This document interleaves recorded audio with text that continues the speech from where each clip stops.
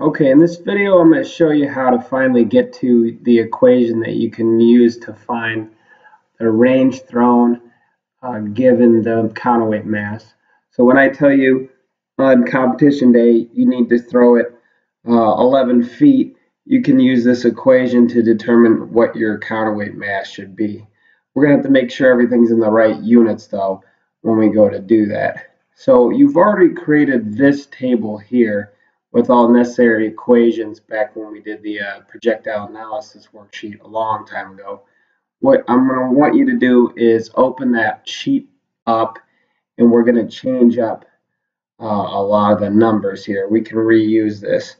In the end, you're going to get something like Janet and David did two years ago, where you have your actual range. So this is experimental when they're out in the field the range that they got. So range how far it threw versus the amount of mass that they had. So as their mass increased, their range increased. This is what the equation said it should be. And this is actually pretty reasonable. As you can see, they, they kind of look about the same in slope. I mean, they're similar.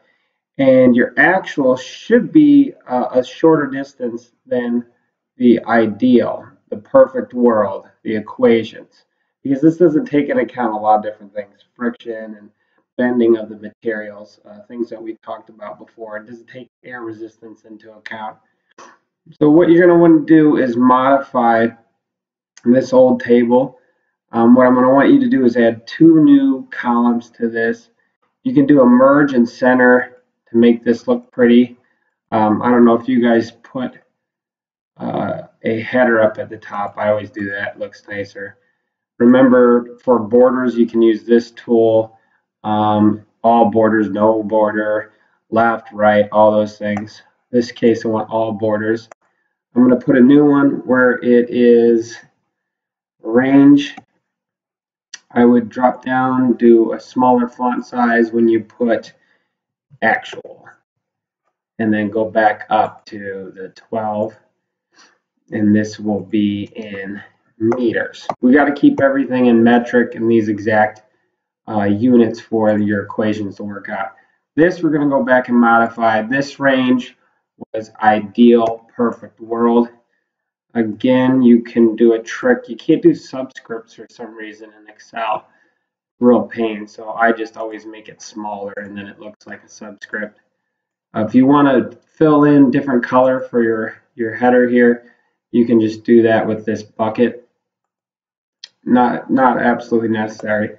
And the last thing I want to do is percent error. This is going to be what percent it's off from the perfect world. Um, let's do, oh, it's up to you kind of what, maybe I'll do percent E R. So percent error and let's R just is range. So percent error in the range. So you're going to fill in all of your new data. Now, I don't have it in front of me. I've forgotten what the projectile mass actually is. The marble, I wrote that up on the board. I think it was something like 0.00558. Double check on that. Just don't blindly put in what I'm putting right now. Your numbers are going to be different. You can do this click and drag so it replaces all of them and you don't have to keep doing that by hand. Your counterweight mass, this is what you guys were changing up during your testing. So you're going to put that. You're going to need to add more rows. So you can do, I don't have enough space, so I'm going to have to do this trick where I do an insert and insert some in here. So if you ever run out of room because you have something down below, you can do that. So all borders and then start doing your seven, eight down the line. Um, remember to center things uh, use this right here to center just like you would in Word. Your uh, potential energy, kinetic energy, they're all calculated based on equations you guys did before. You're changing your counterweight height, fill in what you measured for yours. Um, I think that's probably too big, but figure out what it is. It's got to be in meters, and then you're just going to click and drag it down because it's going to be the same for every single one. Just like the marble, not changing all 16. You can put more data in here if you want to. Same thing, you can click and drag all this stuff down. Now that's not working because I didn't put a counterweight mass in there. So you need to put your counterweight mass in there. Um, another thing is this looks kind of silly when you have this many decimal places on there. So click all those values to right click, format cells, and your computer freezes up for some reason.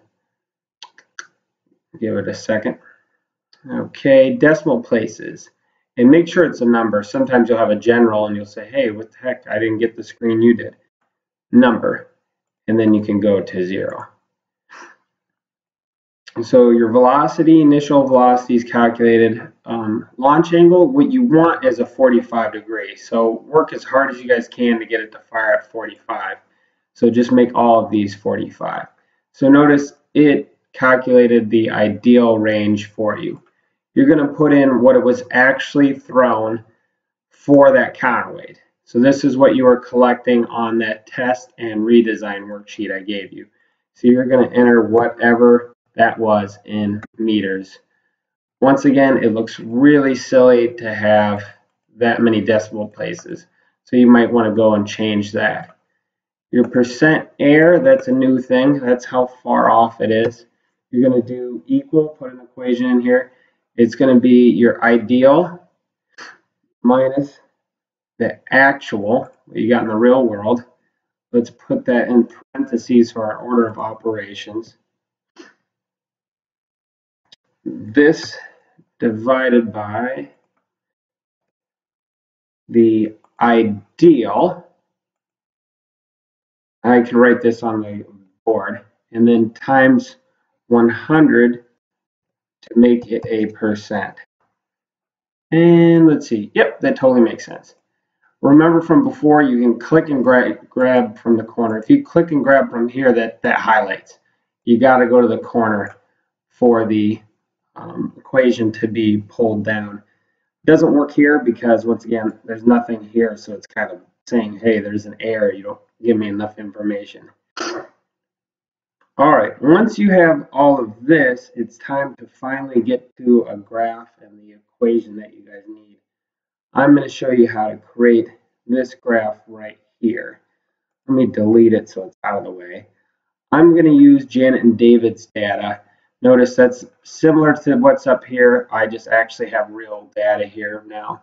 The master projectile is different from your guys' they used a marble that was almost twice the size, so don't screw that up. Don't put what's in here. Um, what you want to do is, it's this isn't, I you don't have to do it this way. You can just start a table without selecting anything. I normally just select something. We're going to graph the, the range ideal and range actual, both of those versus the counterweight mass. So I would just grab this to start out, do an insert. I always do this scatter like this. I got lucky it put things in the right spot. Go to quick layout. This is a newer feature. I used to have to do each one of these by hand and add in each separate thing using this. Now they have this one that'll add everything that I need here. Most important thing is to have a chart title, um, label each axis with their units, and then have a, a, an increment here on that makes sense. And then this tells you what series this is. Now, how you go and do the data, it might take me a second here because they changed everything. Select data, there it is this newer version is nice. They just every time they have a newer version, they change things up a little bit. It takes me a bit to get used to it, but so I already have series one in here. Um, I want to edit that because I want the name to be. Ooh, let's see. One sec. I got this in the way. I don't know which one I grabbed. Oh no. Okay, that's actual. So I want to edit this series.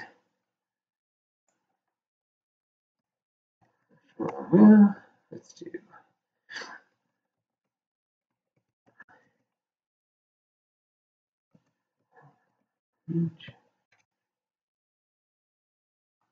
Okay, got actual range. Now, if your data got all messed up, this is where you can fix it.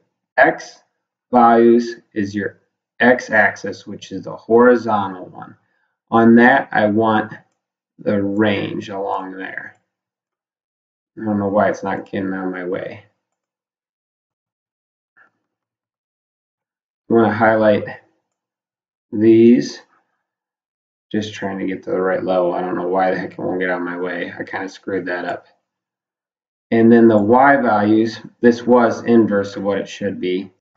Y values is going to be the counterweight mass. That is your vertical.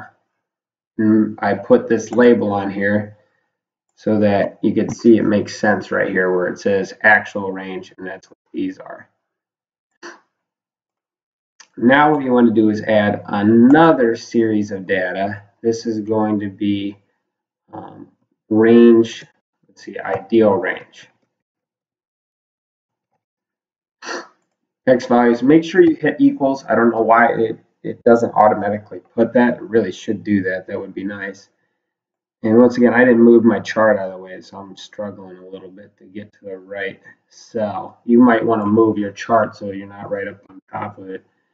So my x values, and once again, y values are the same as before. The y values are going to be your counterweight mass. Um, hit OK. So you might have to play around and edit these. If you get things in the wrong spot, just redo it. You might mix up your x and y, and so go back and redo this and grab the right values. But you want your x to be your range in both cases, and your Y to be your counterweight mass. That was the hardest part. Now you want to right click on your data here. Um, actually, we're not concerned about the um, ideal. Before I had him find the ideal equation, we don't really even need that. So add a trend line. Um, linear will work well. And then this is very important display equation on chart. This is what we've been working towards, is getting this equation. This is very important. This is what I want, is that equation. I can resize this graph so it's a little bit easier to read. And I'll pull it down here. Now, I would go in here and make it clear. Our Y value is counterweight um, actually, let's just do mass of the counterweight equals this times range. I would put this symbol. So what this is saying is if I tell you the range, and I, in this case I'd have to give it to you in meters, or you convert it to meters for this to work. Let's say I say uh, throw it three meters. You will plug three meters into this equation and this will spit out in kilograms what your counterweight should be to throw that distance. So this is very important. I would put it kind of near that data. Now, for some reason, my title went away. So I'm going to go back. This is where you can add individual things in. Um, I want to do my chart title and I want it above. So call this range versus counterweight mass. And then you always have to label your titles. This is going to be um, your range in meters. Always put what the units are in parentheses and then this rotated here, this is going to be your counter weight mass, and then that's in kilograms. Looks nice, doesn't it? So now that you got this, um, I feel like there was one other thing I wanted to show you with this. Um, let's see, what was it? Pretty good. This can be copied and pasted onto uh, into like a Word document, for instance. Um, gosh, I really think there was something else I needed to show you, but maybe not. So you got your equation, you got the, line, you got your, oh, this is what I was forgetting. Notice how silly this looks with all these extra zeros. So you can right click on these and do format axis.